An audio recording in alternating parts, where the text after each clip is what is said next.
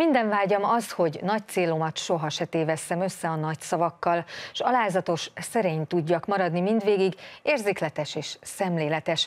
Ezt a Kosztolányi Dezső idézetet tekinti személyes hitvallásának mai vendégünk, akire találóan illik a szenvedélyes szóműves jelző. Lássuk, kivel várjuk Önöket az Ez itt a kérdés portréban. Szilágyi Örzsébet e-mailjét megírta, emotikonokkal azt is telesírta. Lackfi János, József Attila és Prima Primissima díjas író, költő, műfordító, szerkesztő. Szülei a Kossuth díjas Mezei Katalin és a József Attila díjas Olá János, szintén a magyar irodalom elismert alakjai. Publikálása kezdetekor vette fel a Lackfi nevet, hogy édesapjával ne legyen összetéveszthető. 30-nál több könyvet írt, felét felnőtteknek, felét gyerekeknek, és több mint 30 kötetet fordított le franciából. Megzenésített verseiből számos CD készült olyan előadókkal, mint Malek Andrea vagy Herzko Ágnes. 17 évig tanított a Pázmány Péter Katolikus Egyetemen. 1999-től a Nagyvilág világirodalmi folyóirat szerkesztőjeként tevékenykedett. 2003-tól 2011-ig a Műfordítók Egyesülete elnökségi tagja volt. Humoros identitás eszékötete a 2012-es Milyenek a magyarok 25 ezer példányban fogyott el, folytatása a 2013-ban publikált Milyenek még a magyarok 10 ezer példánynál tart. 2014-ben látott napvilágot a novellákat tartalmazó Három a magyar igazság című kötete. Legendásan család szerető ember, hat gyermek édesapjaként négy unokája van. Vendégem a stúdióban Lackvi János, akivel talán megengedhető, hogy tegeződjünk, hiszen viszonylag régi az ismerettség. De egy picit most a jelenben maradjunk. A karantén időszak az viszonylag termékeny volt a számodra. El, egyrészt nagyon sok elfoglaltságot e, találtál már magadnak, másrészt pozitívan élted meg ezt az időszakot. Viszont amit erről mondtál, az az, hogy a letolt tyúkok tanácstalanságával kell berendeznünk újra az életünket. Ez a hasonlat, hát nekem soha nem jutott volna eszembe, mit jelent? Hát ugye vannak a, a csirkegyárak, ahol ilyen egymás fölé rakott ketrecekben tartják a tyúkokat, de nem azért letoltak, mert hogy letolják egymást, bár valószínűleg ez is bekövetkezik, hanem azokat szokták letolt tyúknak venni, amelyek, tehát ugye beléjük nyomják a tápot, és akkor tak, tak, tak, tak, tak, tak így, így sorozzák a tojásokat, és amikor már így, hogy mondjam, biológiailag kimerül, hogy szépen mondjam egy ilyen tyúk, akkor ezt el szokták adni és aki olcsón szeretne lábas jószágot venni, az szépen oda megy, azt megveszi, és akkor, amikor egy ilyen szegény tyukocska, aki azt gondolta, hogy ennyi a világ, meg a sok-sok kotkodácsolás mellette, így kiszabadul a fűre, tehát meg kell tanulni, hogy mi az, hogy legálni már úgy nem tehenesen, hanem csak így csiddesni a füvet, meg nem tudom, és így ilyen, mint a részegek, úgy uh-huh. szoktak bóklászni az udvaron. Úgyhogy picit ilyenek voltunk mi is, mert benne, vagy vagyunk is talán uh-huh. még, mert Ugye a disztópiában találtuk magunkat, az utcán mindenhol maszkos emberek járnak, akik egyébként mi vagyunk, és ezt is pont most gondoltam rá, hogy az egyik kedves kollégával itt összefutottam a folyosón, és így száz méterről felismertem, hogy szia! És tehát, hogy, hogy, hogy van, hogy ennyiből baromi könnyen, gyorsan megismerjük a másikat száz méterről, és van, hogy egy csomó ideig nézzük, és akkor se tudjuk, hogy ki ez, ki ez, és jaj, persze. Tehát, hogy egy egyszer, szóval ezért ez egy elég hátborzongató világ, ahogy, ahogy átalakult mostanra amiben nagyon sok mindent el kell engedni, amit természetesnek gondolta az ember. Te elengedtél valamit, ami, amiről úgy gondoltad, hogy na most van itt az ideje, hogy akkor erről Hát nem mondjak mentális minden, értelemben. Igen, nagyon sok mindent én egy, amúgy is egy ilyen nagyon érdekesen vezetett a Jóisten, mert hogy egy pont egy elengedős uh, periódusban voltam, tehát olyanokat nem tudom, én elkezdtem webshopot csinálni, ezt meg azt, a fordításokkal foglalkozom, mert elég sok nyelvre le vannak fordítva a dolgaim, de valahogy ez, ez is olyan koordinálatlan, és így tovább, de négy ilyen, öt ilyen terület volt, amivel elkezdtem foglalkozni, és gondoltam, hogy kiszervezem, megoldom, stb. És akkor kaptam a Jóistentől egy kis üzenetet, hogy figyelj, ez nem, ne, hagyd, hagyd abba, mert, mert látom, hogy mindegyik marha sok fáradtságba kerül, azért hiába, hogy valaki más csinálja, de mindig rá kell nézni, csak növelem, növelem magamnak a munkát, és, és akkor mondtam, hogy jó, hát hogyha te mondod, akkor abba hagyom, és szépen ezeket visszaépítettem.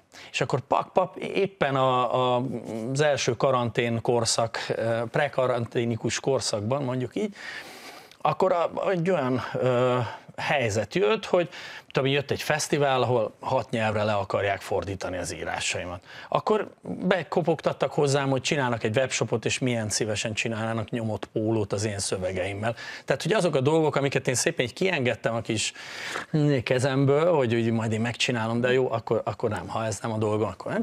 És akkor jó Isten azt mondta, hogy látod, én meg tudom csinálni neked, vagy színházi dolgok, és akkor az akváriumban elindult egy sorozat az én szövegeimből, és nagyon sikeres is volt. És akkor engem már nem érdekelt olyan értelemben a, a, a maszkorszak, meg a karantén, hogy, hogy hát ezeket nem én csináltam, hanem, mm. hanem ezek jöttek.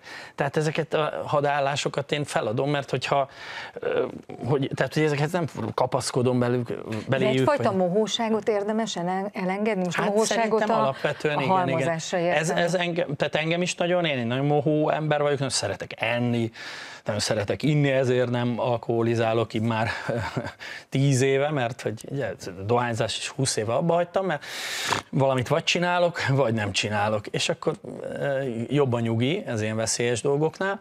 Úgyhogy szerintem egy picit emberiségileg is így vagyunk, hogy igen, a nulla forintos repje egy Barcelonában, egy Balin a naplement, tehát az nekem jár. Hát az alapból jár, hát sőt több járna, mert nyugaton még több jár, nem?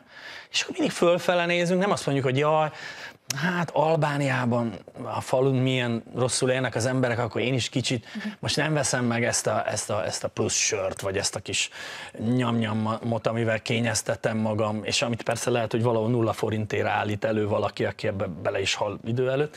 Szóval, hogy, hogy így szeretjük habzsolni a világot, és amikor ilyen, ilyen game over, meg pálya vége, akkor ha, pedig hát az úgy csak azt jelenti, hogy az addigi módszereinknek van igazából vége, nem a világnak hogy attól, hogy nincs wifi, akkor nem a világnak van a vége, hanem a gondolkodásnak van a kezdete. ha nincs wifi, akkor nincs a világnak a vége, de azért mondjuk az internet, az kevésbé elérhető, az az internet, amelyen te annó egy számodra nagyon-nagyon fontos emberrel egy nagyon izgalmas verspárbajt hívtál, vívtál, és ez a verspárbaj aztán nagyon sok más írót is megihletett.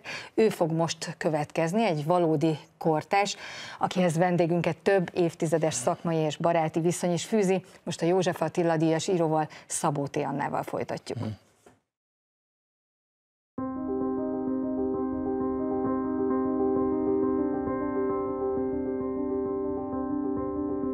Ami bennünk Jánossal közös, az a szóvicre való hajlandóságunk. A nyelvet csodáljuk. A magyar nyelvnek nagy rajongói és csodálói vagyunk mindketten, és én ezt nagyon bírom, ahogy sziporkázva szórja a szójátékokat. Ezzel ha valaki hasonló emberre akad, akkor mindig órákig nevetek, és néha én is csatlakozom ezekhez, tehát játszani nagyon szeret. Az a költészeti szempontból is ez a legfőbb tulajdonsága, hogy játékos. A játékos komolyság lehet, hogy úgy tűnik, mintha önellentmondás lenne, de nagyon mélyen érző szövegei vannak, és rendkívül jó a szeme. Tehát bármit észrevesz, képes róla verset írni, és nem erőltetett vers lesz ez a szöveg, hanem olyan, ami rányítja a szemünket arra az, a tárgyra, arra az érzelemre, arra az abszurditásra, ami hétköznapinak tűnik, de mégis nagyon izgalmas. Ha az ember így belenyit, az imént így kinyitottam, most már megjelöltem, de elképesztő, hogy így belenyit az ember a közepébe, és a Töpörtyű című vers, és úgy kezdődik, hogy alázatot a töpörtyűtől tanulni. Amint önnön zsírjában sül zsugorodván, szemmel láthatóan öregszik, vállalva torz és minden szépségtől mentes alakját. Tehát a, a, ahogy odafordul a részvétel és figyelemmel fordul a tárgyak felé, az emberek felé is egyébként, és nagyon sok humorral. Nagyon nagy hajlama van a kifigurázásra, de szeretetteli módon teszi, és általában értik is. Tehát akinek van egy kis humora, az érti az érted haragszom nem ellened játékosságát is, tehát önmagát ugyanúgy tudja kifigurázni, mint másokat. Rengeteg hívószó elhangzott itt, de az utolsó, hogy értik. Szóval, hogy az is érdekes, és ez kapcsolódik a koronavírus járványhoz, hogy a rendkívüli intézkedések című versedben írtál ugye a, a, a járványról, meg a, a rendkívüli intézkedésekről, és aztán kommentben odaírtad, hogy viszont te nem szeretnél többet megmagyarázni semmit, mert a félreértés is az értésnek egy formája. Szóval ezek szerint például azt is elengedted, hogy azon izgulj, hogy most félreértenek, vagy azt értik, amit te gondoltál. Szóval nagyon szeretem, tényleg a jelszó akármilyen közhelyesen is hangzik a szeretet, tehát hogy szeretetteljesen ö, reagálni akkor is, amikor mondjuk valaki éppen trollkodni kezd. Tehát sokszor berontanak így, akár még a messenger dobozomba is, virtuális messenger dobozom, hogy kinyírlak, megöllek, te tönkreteszed a gyerekeinket, a, ez az, és akkor önnek is jó estét, látom, hogy nem tetszett a vers, gondolom, talán, hogy melyik, és hát van ez így, az egyiknek tetszik, a másiknak nem, és akkor úgy elbeszélgetünk, és ő ragaszkodik ahhoz, hogy ledaráljon, és mit tudom én, hetedízig len kiírtsan engem a föld tekéről, és akkor igyekszem, tehát hogy ez az ő dolga, tehát ha ne, valakinek van veled egy problémája, akkor neki van egy problémája.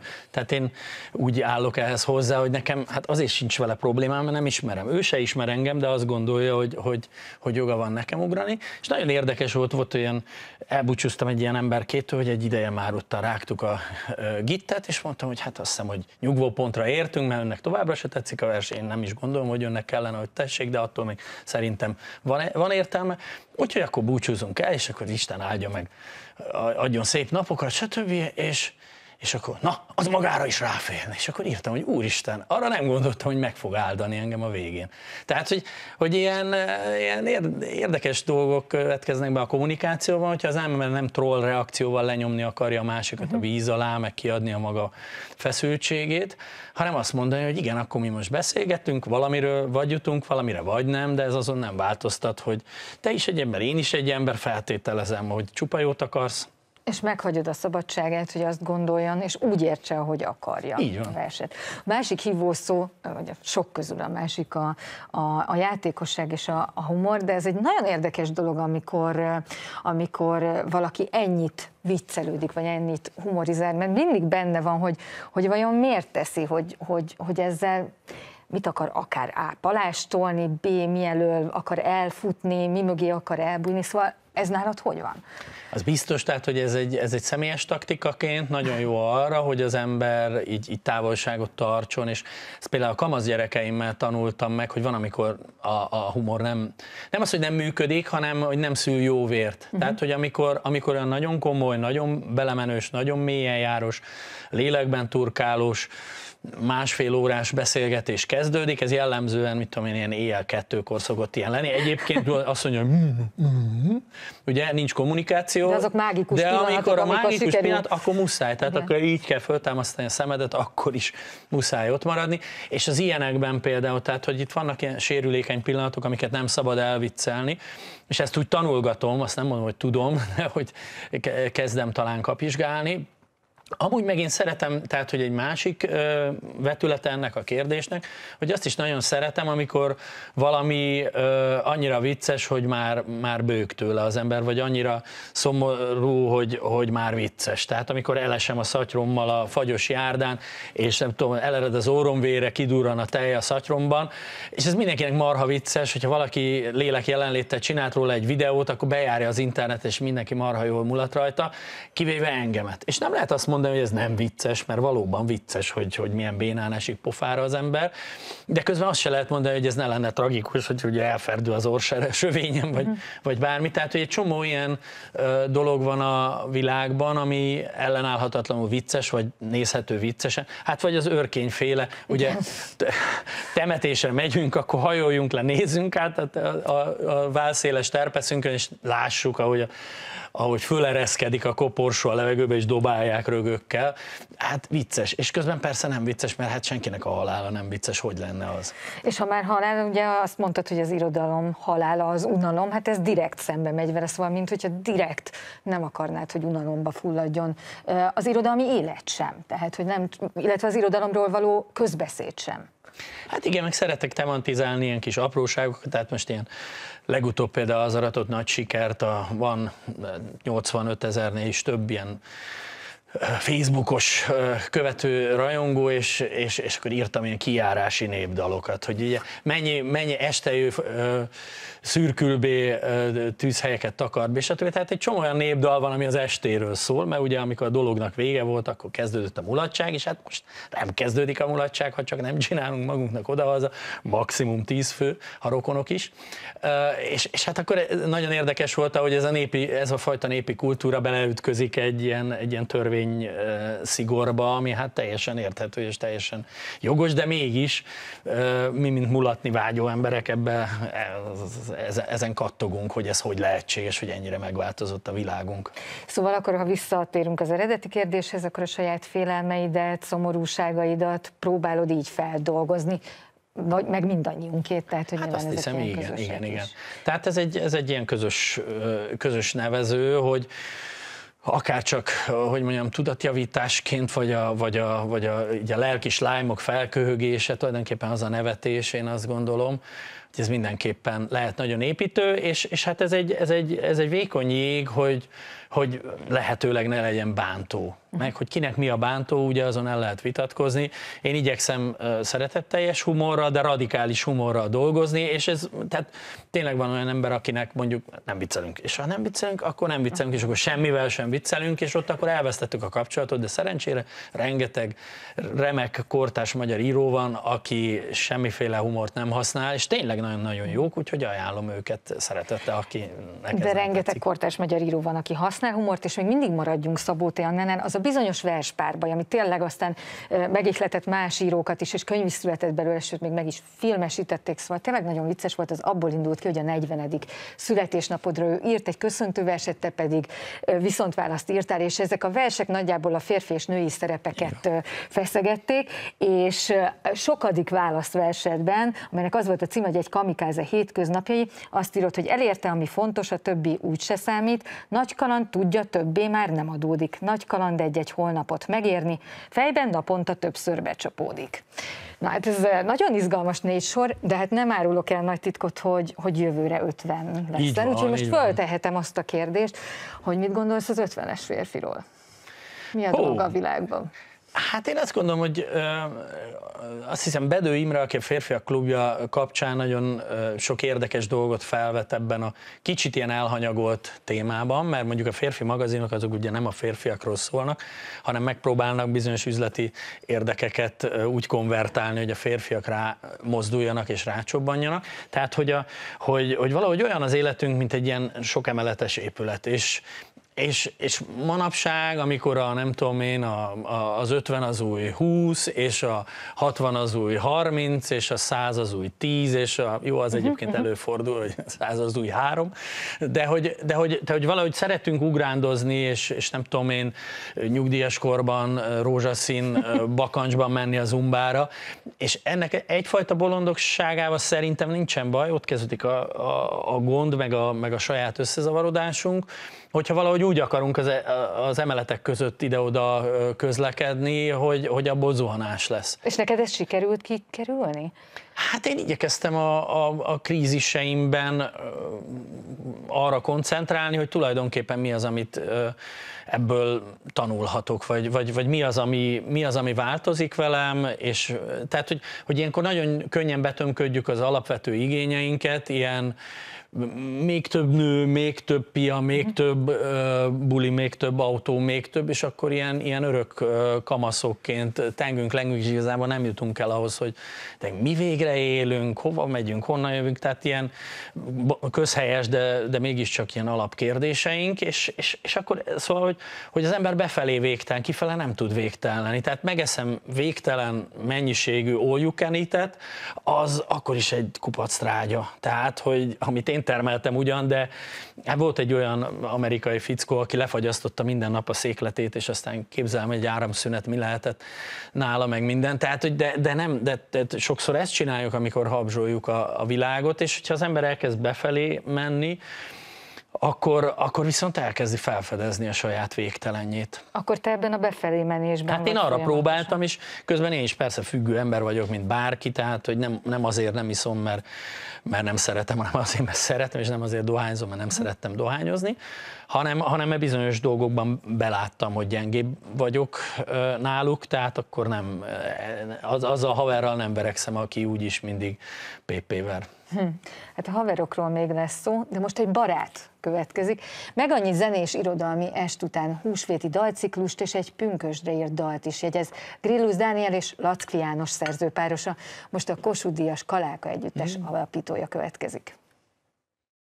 Reped a kő, jön az idő, a A Kaláka már tavaly 50 éves volt, és több mint 300 költő versét énekeljük, de általában olyan, hogy én van, akivel úgy dolgozom, hogy írok egy, kitalálok egy versformát, magyarul egy dallamot, és őt ez, ez megihleti, sőt, annyira, hogy szereti, hogyha valamilyen új dolog kerül a, a, az elé, és inspirálja egy új forma. Ez nekem, nekem nagyon jó, és ő az első ilyen költő, bevallom őszintén. Lehet, hogy próbálhattam volna, de sajnos próbáltam. Ott volt a Vörös Sándor összes, a, a összes, a, a, itt, József Attila, ott, ott volt előttem a, a világ költészete, és nem is gondoltam rá, hogy én most elkezdek egy dallamot írni, hogy akkor abból majd legyen valami vers. És idén, amikor a, az első karantén volt, nevezük így a tavaszit, akkor uh, kezdtünk el a húsvéti napokban dalokat írni, úgyhogy én elküldtem Jánosnak a dallamot, az elképzelésemet, vagy Zsozsanna, vagy nem, és akkor ő, ő ezt szépen kitöltötte a, a formát, és ezért, ezért talán kicsit más, máshogy énekelhető versek lettek ezek, mint azok, amikor egy, egy verset veszek, és én találom ki hozzá a dallamot.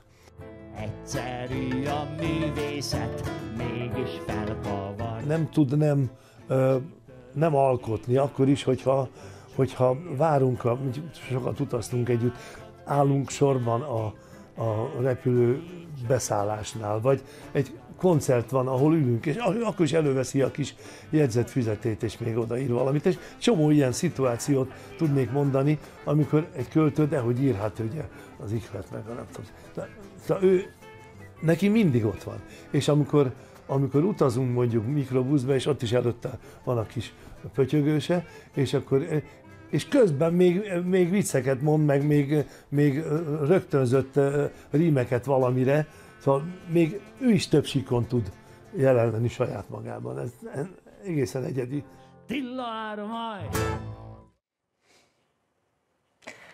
Az a bizonyos füzetgyűjtemény, az egyébként legendás, tényleg rengeteg füzeted van, amiben mindig jegyzetelsz, nekem pedig az jutott erről eszembe, hogy igen. Nem készültem rá, de tudom illusztrálni, tehát igen. itt van a farzsebemben. De hogy az is eszembe jutott, hogy kevés olyan ember van, aki annyira nyomdakészen tud fogalmazni, és egyébként pedig szóban is folyamatosan, ahogy te fogalmaztál, ömlik belőle a hülyeség, meg, meg mindenféle ötlet, de hogy amikor mondjuk leülsz írni, akkor ez ugyanígy ömlik ki a, a kezed alól? Tehát ugyanebben a tempóban egyszerűen kifolyik? Vagy, vagy hogy van ez? Hát viszonylag gyorsan írok tényleg, ez hála Istennek.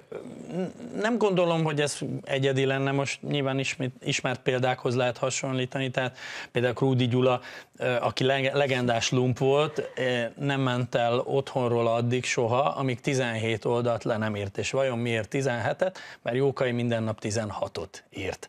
Tehát, hogy egy ilyen egészséges rivalitás is ott van benne. Tehát, hogy az, hogy az, hogy valaki minden nap ír, van egy ilyen elterjedt tévképzet, a, a, az ihlet az létezik, és, és uh-huh. van, és működik. Csak, de, de nem arról szól, hogy én állam, félrészegen ülök egész életem, és néha belém csap a villám, és akkor képessé válok bármire egyébként, meg mindenre hasznavehetetlen vagyok, hanem, hanem hogy egy körülbelül olyan átlagos embernek az átlagos. Nagyon szeretem, amit Örkény István mondott, hogy én egy olyan hivatalnok vagyok, akit azért fizetnek, hogy írjon. És ez lehet, hogy kiábrándító, és lehet, hogy a lánglélek, tadada, stb. De, de ez egy munka is, meg egy szenvedélybetegség is tulajdonképpen, hogy engem nagyon betegesen izgatnak a helyzetek, a szavak, a képek, a dallamok. És a tök hétköznapi szituációk. Igen, igen, abszolút mindenképpen. Tehát én azt gondolom, hogy nem, hogy nem különleges ember a költő abban az értelemben, hogy van. Tehát a, nyilván valamilyen értelemben mindannyian mindannyian különlegesek vagyunk, mert az a DNS kombináció, amit ugye tudnának mesélni róla a biológusok, hogy milyen baromi bonyolult, az senki másban nem jön létre, ami benned van, ami bennem van, és, és ugye ezt valahogy megpróbálni kifejezni, és ezt a látást, ami ebből, ebből ered, ez egy ilyen hallatlanul izgalmas, és soha véget nem érő uh, mulatság, és ezen nem változtat semmit, hogy vannak olyan zseniális költők, mint egy Pilinszki, aki mondjuk egy ilyen vékonyka kötetet írt egész életében, amelynek a három háromszorosát írta meg 26 éves korára Petőfi Sándor. Tehát, hogy, hogy igazából ez olyan a, ez az írási hogy is mondjam, ez, az, ez a behatárolhatatlan erő, a dolog, ami meg akarja írni magát, kicsit olyan, mint a Szentlélek, ami ott fúj, ahol akar. Annyira jó, hogy a Szentléleket említetted, és akartam még erről, erről mindenképpen beszélni, de kimondtál azért egy másik dolgot is, azt, hogy hát ha tetszik, hanem ugye ebből, ebből élsz, hm. és hát rengeteg mindent csinálsz tényleg műfordítástól kezdve, ugye a mindenféle zenés és szerzői estek és előadásokat is tartasz, tényleg sorolhatnám, még több mint 30 köteted ugye megjelent, hogy sosem volt olyan, hogy megérintett annak a szene, hogy megélhetési, önismétlő felsz felszínes íróvá váljál?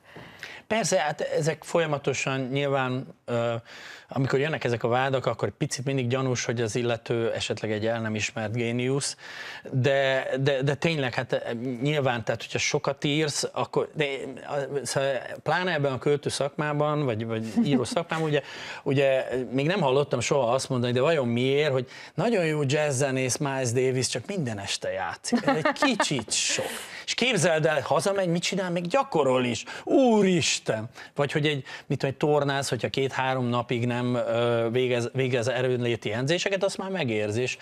Szóval, hogy bizonyos szakmákban ez olyan, meg akár még művészi szakmákban is ez olyan megengedetnek tűnik a munka, és, és nálunk meg olyan illetéktelnek, hogy ah, én már mellesleg, amikor olyan a éhellet, akkor csodákat művelek, de ah, de hát nem, szóval tényleg ez nyilván, tehát, vagy, vagy megnézzük a nyugatosokat, akik uh-huh. olyan híresen Karinti, meg Kosztvány ugratták, egymás poénkodtak, jaj, de jó fejek voltak, de mindez csak azután, hogy a napi 4, 5, 6, 7, 8 feladatukat meg, megírták, a kis glosszát, a kis interjút, a kis humoreszket, a kis karcolatot, a kis alkalmi verset, a kis interjút, a kis fordítást, stb. Tehát, hogy, hogy, hogy ez, ez tényleg egy szakma, és én ráadásul még élvezem is, ami tudom, hogy ronda dolog, amikor esetleg valaki kasszás valahol, és, és megátkozza a vevőket, és megátkozza az életét és az árukészletet, de ebben a kasszában jó ülni. Hm. Tehát akkor az élvezet azért valamilyen módon meg... Igen, és még fizetnek, és az ember Valamilyen módon meg tud óvni attól, hogy, hogy megélhetési, tehát a, a szónak a... De hát nyilván úgy, nem... olyan értelemben viszont megélhetési, hogy én nagyon szeretek feladatoknak megfelelni, és most, most kaptam a zsidó hitközségtől egy megbízást, hogy Hanukára írjak verset, és akkor Hanukára írni fogok verset, és nagyon, nagyon tetszik a történet, amúgy is érdekel nagyon a zsidó hagyomány, de így ebben még nem gondoltam be, tehát mindig több megírandó dolgot látok a világban, akár feladat formájában érkezik, akár nem, mint, mint hogy így el tudjam képzelni, hogy úristen, ott ülök majd a fehér lapnál, és semmi sem jut eszembe. Miközben iszonyú sok dolgot csinálsz, most persze azért valamit a járvány és a karantén lassított az élettempódon, azért volt egy nagy figyelmeztetés az életedben, ez most már jó régen történt, ugye, amikor stroke kerültél kórházba, és és nem tudom, hogy mi ijesztett meg akkor, vagy megijedtél-e, vagy ez egy, mi, mit él át olyankor az ember, de most utólag hogyan látod, hogy miről, miről szólt az? Hát ez egy nagyon izgalmas korszak volt, mert építkeztünk, kaptunk valakiktől baráti kölcsönt, egy négy gyerekes család, amit vissza kellett fizetni, és akkor én jártam az országban, mint az őrült, mindenféle fellépéseken, írtam, mint a güzű, hogy, hogy ezt vissza tudjuk fizetni, mert azért ez nem, nem vicces, tehát ez komoly dolog, aztán közben kiderült, hogy édesapám halálos beteg, tehát aztán öt évig volt még rákos, aztán családunkban másnak is nagyon komolyban. Tehát, hogy, tehát, hogy utólag annyi minden rakódott egymásra, amit nem, nem tudom, hogy hogyan tudtam volna én ezt kivédeni. Minden esetre arra emlékszem, hogy, hogy valahogy egy ilyen nagyon nagy nyugalom volt rajtam, ahogy ott feküdtem a mentőben, és vittek el, és, és akkor láttam a felhőket, és mondom, hú, a felhőket még egy kicsit nézhettem volna többet. De ugye nagyon az volt bennem, hogyha én most itt exitálok, akkor a, akkor, akkor a Jóisten gondoskodik a családomról, és nem, tehát, hogy nem emésztettek ezek a fajta, tehát eszembe jutott persze, de volt egy nagyon nagy bizalom bennem, és egy nagyon nagy reménység, hogyha most engem szólítanak, akkor nekem most mennem kell, és akkor ez így van rendjén, és Egyébként most is, a, tehát még az első karantén alatt meglegyintett ez az érzés, meg, meg így magamban tettem is egy ilyen uh, kis felajánlást, hogyha mondjuk a gyerekeim bármelyikének az életét megóvhatom úgy, hogy mondjuk én leszek uh, covidos és elpusztulok benne, akkor ezt a, ezt a dílt én, én szívesen ajánlom, uram, úgyhogy, mert én már annyit, annyit éltem ez alatt az 50 vagy 49 év alatt, és annyi mindent kaptam, és annyira hálás vagyok, hogy tényleg a házunk, a gyerekek, a, a művek, a barátságok, a munkakapcsolatok, a fellépés, tehát hogy tényleg rengeteg országban jártam, tehát hogy hogy én már tényleg két életre valót ö, éltem, úgyhogy ilyen értelemben nem volt bennem, hogy nem tragikum, persze hát éreztem a szelét, hogy megcsapott, és aztán nagyon gyorsan, három nap alatt visszajött minden, szavakat kevertem, tehát hogy beszédcentrum mellett csapott be ez a kis vérrög, és akkor viszont utána azt nagyon komolyan feladatnak tekintettem, hogy átütemezni az életemet, amit lehet, azt kiszervezni. Van egy kedves ö, menedzserem, Eszéki Erzsébet, aki fantasztikus munkát végez, és a fellépéseimet, hát ha nincs éppen bezártság, meg kiárási tilalom, akkor intézgeti. Szóval megtanultad jobban beosztani. És igyekeztem, igyekeztem úgy élni, hogy egy picit ö, könnyítsek azokon a terheken, amik nem muszáj hordanom, cipelnem őket. Nagyon mély és szép gondolat volt, amit a, a gyerekeiddel kapcsolatban, meg a családoddal kapcsolatban mondtál, és nagyon jó, hogy szóba hoztad őket, mert most az egyik gyermeket következik. Aztán. Most Lackvi Dorottyával folytatjuk, aki énekesként édesapja és saját megzenésített verseit is előadja Sinha Robert gitárművészek közös fellépésein. Lássuk, hogy miként talált rá erre az útra, és hogy hogyan látja civilben vendégünket.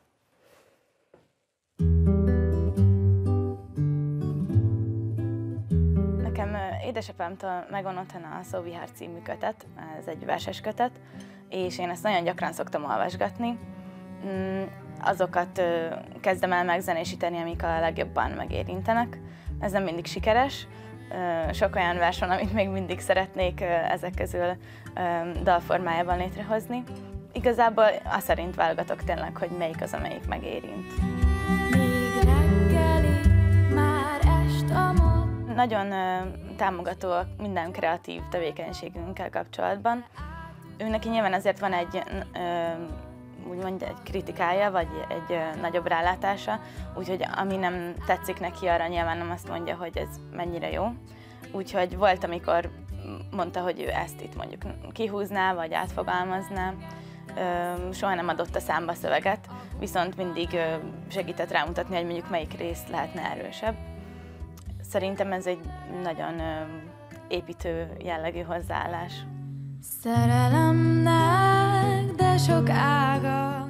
Mi nyilván egy összetettebb képet látunk róla, ami egyébként ez a humoros, meg vidám jelensége az abszolút otthon is ugyanígy megtörténik, de nyilván ez kiegészül azzal, amikor fáradt, amikor dühös, amikor elvonul, és inkább csak egyedül lenne, úgyhogy nyilván vannak ilyen oldalai, meg azért alapvetően az ő költő léte így a fellépéseken kívül egy elég magányos munka, amit így én látok belőle, ugyanis többnyire órákon keresztül egyedül van, és ír, és a saját gondolatait próbálja megfogalmazni.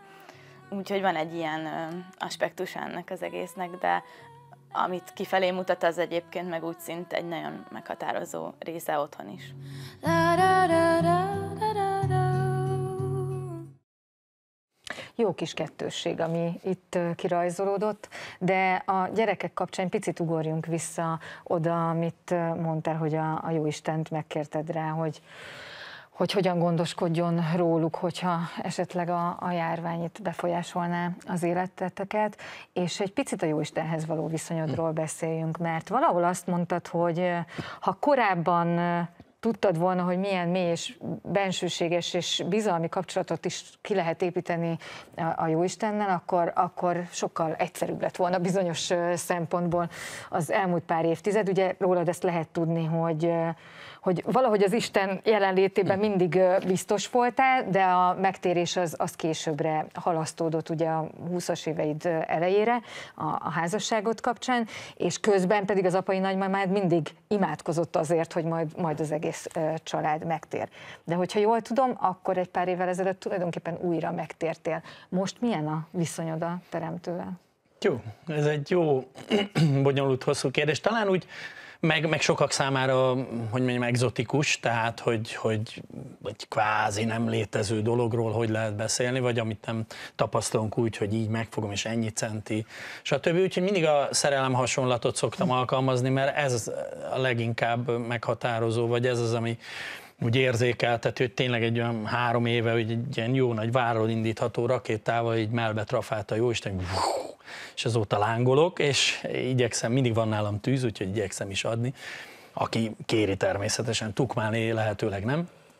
De, de hogy ez tényleg olyan, hogy, hogy, hogy, hogy velem van minden nap, hogy követi a dolgaimat, hogyha kérem a véleményét, akkor megmondja, hogyha, ha, de, de ebben van egy csomó olyan ha, hogy én kinyitom a magam. Hogy én uh-huh. kinyitom a szívem kapuját, az elmémnek a kapuját, a jelenlétem kapuját, a jövőm, a múltam, a jelenem kapuját. Hogyha nem nyitom ki, akkor ő nem fog. Tehát, hogy, hogy ez az ajtó, ami a belső szobánkon van, annak csak belül van kilincse ő nem fog ránk törni sosem a tekkel, és akkor azonnal kezeket tarkóra, arcra feküdni, és azonnal tessék hinni, hanem egy nagyon diszkrét valaki. Még akkor is, amikor látszólag vallásos tevékenységet folytatok, és hogyha ez csak páváskodás, meg hogy kinek a hangja hallatszik legszebben a templomban, meg nem tudom, ilyen fajta janiskodás, akkor észreveszem, ha figyelek erre, hogy ő egy kicsit diszkréten hátrébb lépett. Ez olyan, mint amikor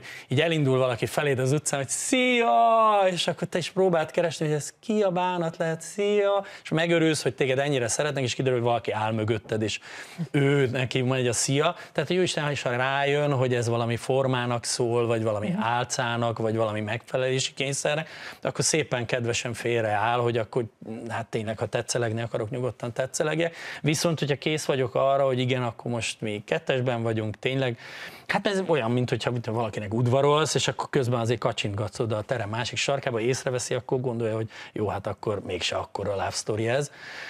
És, és viszont nagyon, nagyon tudja a, a lángot táplálni, és a szenvedélyt szítani, és a és, és egy, a Biblia, ami egy könyv, mint a többi megelevenedik, és, és olyan, tehát tényleg olyan szavakkal találkozik az ember benne, hogyha ráhangolódik, amelyek kifejezetten a mindennapjaihoz szólnak. A vizenjárás csodájával is a Bibliában találkozhat az ember, és azért emlegetem ezt, mert jövőre fog megjelenni, hogyha jól tudom, a Vizenjárni tilos című kötet, ami a családi életetekről szól, a családi életetek regénye, és hát nyilván a hídben is többek között nagyon egymásra találtatok a feleséget, de akivel ugye hat gyermeket neveltek. Mik ezek az apró csodák? Mondj egy, mondj egy csodát, ami, ami nemrég történt veletek, amikről ez a kötet is szólni fog. Hát ez egy kicsit régebben történt már, de mégis talán ez a leglátványosabb amikor Johanna lányunk megszületett az utcán. Tehát gyakorlatilag a MÁV kórház háta mögött, mert mentünk a taxival, nappal visszaküldték a felségemet, hogy á, ez még nem tolófájás, tessék csak nyugodtan, és akkor szépen ott kiugrottunk a taxiból, én már hallottam, hogy nagyon-nagyon mélyeket lélegzett, hogy itt van, és akkor ez egy hosszabb történet, megpróbálom a lehető legrövidebbre fogni, és odaugrottam hozzá, és kérdeztem, hogy most mit segítsek, és azt mondta, hogy kapd el. És én oda kaptam teljesen ösztönösen, ugye a negyedik gyermekünk, tehát volt már mögöttünk tapasztalat, de ilyen nem, és a mai napig érzem, hogy a, a, kislányomnak a popsia így bele tocsan a kezembe. A felesége meg elkapta valahogy a hóna alatt. De hát az egész egy teljes rejtély, tehát se anatómiailag, se sehogy nem tudjuk. Arról nem beszélve, hogyha nem szoknya lett volna rajta, hanem nadrág, akkor mit kezd a kanyar, az útelágazódással, mit kezd a gyerek. Na de ö, nem tudjuk megmagyarázni, hogy hogy történt az, hogy nem esett le a földre, nem lett semmi baja. Ennyit mondott, hogy Á, és így nagyon jól érezte magát a világban, gyorsan ledobtam az ingen, beletekertük, és tulajdonképpen ilyenek a Jóistennek a kegyelmi ajándékai, hogy, hogy kapd el. Tehát nem te csinálod, de ha nem kapod el, akkor ugye az aszfaltra fog pottyanni, tehát kapd el. És ez, ez mindig benne volt az életünkben. Vagy ahogy egy francia pap fogalmazta, Jacques Philippe atya, hogy, hogy a gondviselés olyan, mint egy ejtőernyő, mindenkinek ott van a hátán, csak aki nem nyitja ki, az sose fog rájönni. Tehát, hogy, hogy tényleg, tehát, hogy a, abban a pillanatban az elkap feltéve, hogy kinyitom. Hát nyissuk ki azt az ejtőernyőt. Nagyon szépen köszönöm, hogy itt Én voltál. is köszönöm.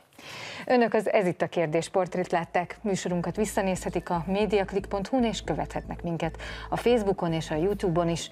Jövő vasárnap este héttől újra várjuk Önöket, tartsanak velünk akkor is. Viszontlátásra!